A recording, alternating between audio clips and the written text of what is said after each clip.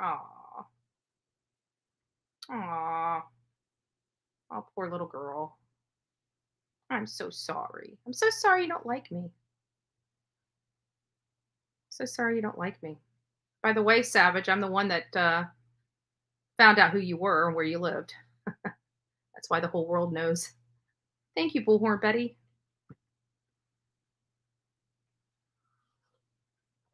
The behavior panel. Thank you, Miss Robin. No, no, she they specifically said they were upstairs sitting at the table because that goes in in line with their script. That goes on and that goes in line with their script.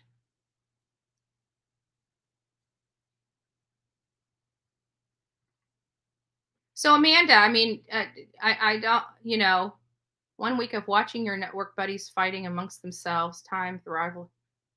Hmm. Well, I, I find it funny because aren't you and your clique kind of fighting?